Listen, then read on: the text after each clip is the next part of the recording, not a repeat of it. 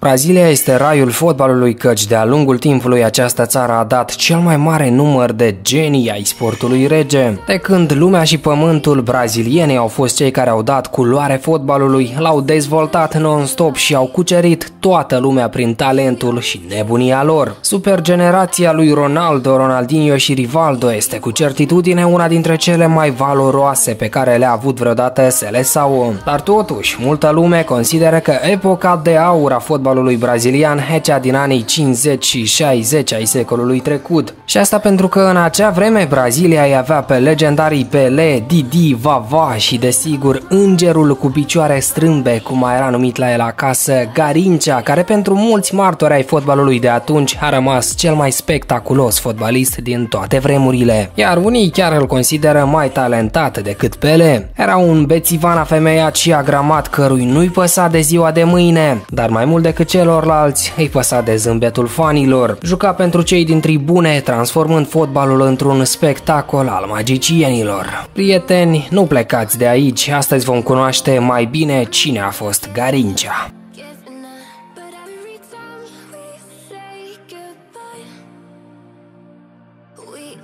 Prin 1933, brazilienii traversau o perioadă de ascensiune, au pus în funcție prima companie aeriană din țară și au semnat un tratat antirăzboi de non-agresiune împreună cu alte țări din America Latină. Tot atunci, în 28 octombrie 1933, a apărut pe lume Manuel Francisco dos Santos, a.k.a. Mane Garincea sau simplu Garincea. Viitorul mare fotbalist era al cincilea copil al familiei. Tatăl său era un necărturar care nici nu putea scrie data nașterii fiului său și nici măcar nu a avut inspirația pentru a-i da al doilea nume. Astfel, puștiul la 15 ani s-a autonomit Francisco. Eroul episodului nostru s-a născut cu malformații congenitale, avea strabism, deformarea coloanei vertebrale, probleme cu oasele pelvine, iar piciorul stâng era cu 6 cm mai scurt decât cel drept. Medicii au încercat o intervenție chirurgicală, însă nu puteau schimba nimic. Mai mult, se punea problema dacă va putea micuțul merge sau nu. Cu trecerea anilor acesta a mai prins la mușchi, iar picioarele sale s-au întărit. Era și firesc într-o lume a clasei muncitoare, unde dacă nu lucrai fizic, îți era foarte greu să reziști. Carincea a început să bată mingea în adolescență, în cartierul sărac și plin de crime în care crescuse, abandonase școala după patru clase, iar la 14 ani se angajase la o fabrică de textile de la el din oraș. Tot atunci s-a înscris la echipa locală de amatori, Pau Grande. La fabrică, Garincea s-a împrietenit cu doi colegi de lucru mult mai maturi, Swing și Pinsel, care l-au învățat să bea și să bea foarte mult. Pe la 19 ani, Garincea a fost alungat de la fabrică din cauza lenei, motiv din care risca să fie fugărit și de la echipa sa de fotbal. Pe atunci, Pau Grande juca printr-o ligă regională de amatori, iar Garincea Mane, de 19 ani, evolua ca mijlocaș central și nu prea sclipea, era un simplu jucător. Însă, într-o partidă, prin 1952, acesta a fost folosit ca mijlocaș dreapta. La una dintre dintre faze, scundul Garincea de 1 m și 69 de centimetri a luat mingea de lângă propriul careu, a driblat toți adversarii și a oferit o pasă de gol unui coleg, care a trimis mingea în poarta goală. După asta, unul dintre jucătorii echipei oponente a avut o intervenție dură la adresa lui Garincea, dar după meci acesta a luat bătaie grozavă de la proprii suporteri pentru că a îndrăznit să-l faulteze pe magicianul Șchiop, care a făcut tribunele să urle de încântare. În 1950 53 la aproape 20 de ani, Garincea a venit să dea probele la Botafogo, una dintre cele mai iubite echipe din Brazilia. Văzându-i exteriorul hidos, antrenorii au râs de el, dar noroc că pe stadion era și vedeta lui Botafogo și din Naționala Braziliei, Nilton Santos. Acesta l-a urmărit cu atenție pe micuțul ciudat și la final s-a apropiat de antrenorul principal și i-a zis E al pe ăsta că e prea bun, are ceva special în el, nu știu ce, dar mă face să îmi pierd mințile când îl văd atingând mingea mingea. La puțin timp, Garincea a participat la un amical dintre prima și a doua echipa lui Botafogo. Ca întotdeauna, stadionul era full, iar cei prezenți în tribune, când au văzut mersul hilar al lui Garincea și piciorul pe care îl îndoia mult în exterior, încercând să-și ascundă problema, nu și-au putut stăpâni ironiile. Însă, diavolul Șchiop avea să le taie respirația tuturor și să învăluie arena cu rafalele uimirii când a atins pentru prima dată mingea. L-a pus pe brânci pe celebrul Nilton Santos, apoi a driblat pe oricare i-a stat în cale. Evident că fanii s-au îndrăgostit pe loc, iar antrenorul Gentil Cardozo imediat l-a adus în biroul său pentru a semna contractul profesionist. În primul său meci oficial pentru Botafogo, Garinci a reușit un hat-trick și a șters orice suspiciune legată de el. Sezonul de debut a fost unul eficient pentru tânărul mijlocaș dreapta. Acesta a bifat 26 de meciuri și a înscris 20 de goluri ocupând treapta a doua în lista celor mai buni marcatori din Liga statului Rio de Janeiro.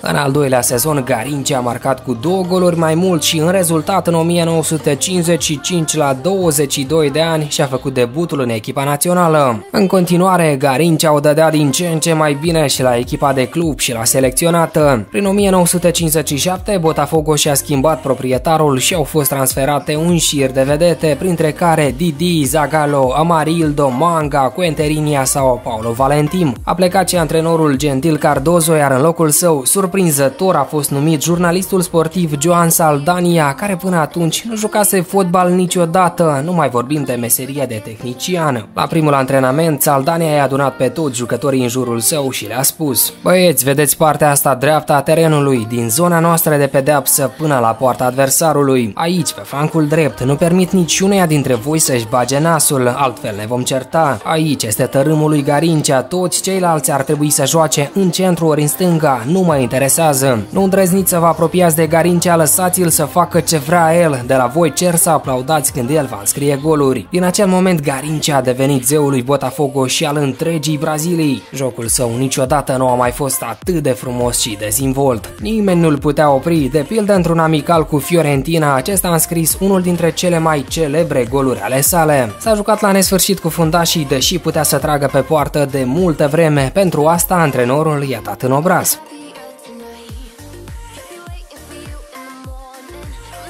În rezultat, alături de toată elita fotbalului brazilian, Garinci a mers la campionatul mondial din 1958, desfășurat pe stadioanele din Suedia. Acolo, în primele două meciuri, a ruginit pe banca de rezerve, după care fanii și jucătorii l-au convins pe selecționer să-l titularizeze pe diavolul șchiop alături de un alt mare tânăr talent, Pele. A urmat partida contra Uniunii Sovietice, iar primele trei minute au însemnat trei atacuri la poarta sovieticilor, două bare și un gol al lui Vava, toate fazele au pornit de la piciorul lui Garincea. Jurnaliștii au numit cele 3 minute cele mai frumoase din istoria fotbalului. Din acel moment, Garincea a rămas în primul 11 până în momentul în care a ridicat deasupra capului trofeul de campion mondial. După asta, revenind la Botafogo, Mane Garincea și Gașca au continuat să domine în Liga statului Rio și ușor ușor au trecut 4 ani, iar la orizont trăsărea un alt mondial, cel din Chile. În acel moment, Garincea avea 29 de ani și era mai bun ca niciodată. După victoria Victoria din prima etapă cu 2 la 0 contra Mexicului în cel de-al doilea meci încheiat cu o remiză contra Cehoslovaciei, Pele a suferit o accidentare și a părăsit turneul. Astfel, rolul vedetei numărul 1 i-a fost acordat lui Garincea, care avea să schimbe imediat imaginea Braziliei. În ultima partidă din grupe, Seleção o bătea pe Spania cu 2 la 1, apoi în sferturi urma duelul cu Anglia. Înainte de meci, selecționerul Aimore Moreira s-a apropiat de Garincea și i-a spus În echipa englezilor este un tip pe nume Ronald Ronald Flowers. El se lăuda jurnaliștilor din țara lui că Garincea nu va putea trece niciodată de el, la care diavolul Șchiop l-a rugat pe antrenor să-i arate cu degetul cine e acest Flowers ca să-și cunoască prada la față. Moreira însă a refuzat, zicându-i lui Garincea, fiule, nu-ți voi spune cine e Flowers, așa că nu ai de ales, trebuie să-i driblezi pe toți de multe ori pentru a fi sigur că l-ai trecut și pe Flowers. Astfel, Garincea a ieșit pe teren mai motivat ca oricând a inundat stadionul cu dribluri driblinguri, reușind o dublă, Brazilia s-a impus cu 3 la 1 și a mers în semifinale, unde avea să treacă de Chile cu 4 la 2, Garince a marcat însă spre final de meci a fost eliminat, dar oricum meritul lui Garince era recunoscut de toți. După ce a devenit pentru a doua oară campion mondial, Mane Garince a continuat să-și forjeze cele două mari calități, genialitatea pe teren și viața extrasportivă agitată. Cea din urmă totuși avea să prevaleze și să-l tragă în jos pe marele fotbalist, tot mai mult și și mai mult. De asemenea, se zvonește că îngerul cu picioare strâmbe avea 14 copii de la 14 femei diferite. În 1965, pe când Garincea avea 32 de ani, cei de la Botafogo au pornit o campanie de descreditare a legendarului mijlocaș dreapta. În presă apăreau tot mai multe articole în care se dezvăluia viața nu tocmai exemplară a lui Garincea din viața lui de zi cu zi. În ultima vreme acesta a mai pus pe el 7 kg,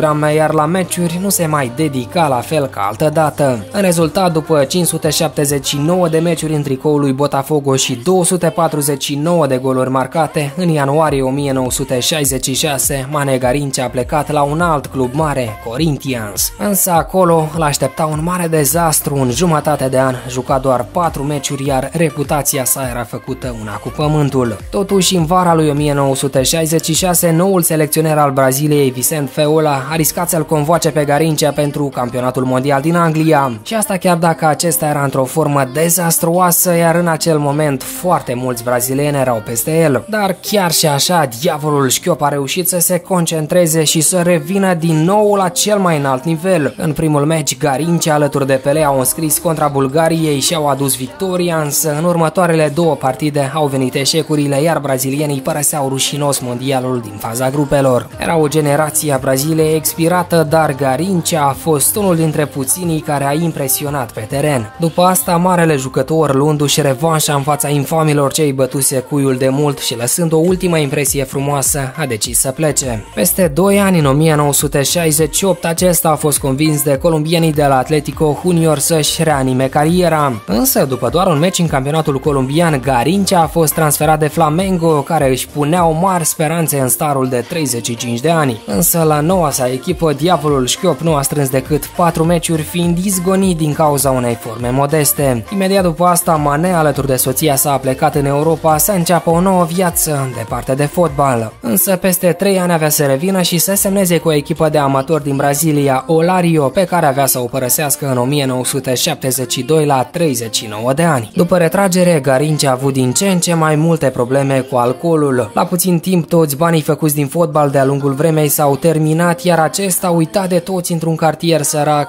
abia reușea să mai supraviețuiască. Organismul său era din ce în ce mai slab, avea insuficiență cardiacă și petrecea mult timp prin spitale, până când în 1983 la 49 de ani acesta s-a stins, dar numele lui continuă să ardă și în prezent și o să mai ardă încă multă vreme de acum înainte ca o flacără aprinsă și nebună așa cum a fost viața acestui geniu neasemuit, pe mormântul căruia au scris brazilienii, aici este adormită fericirea națiunii noastre.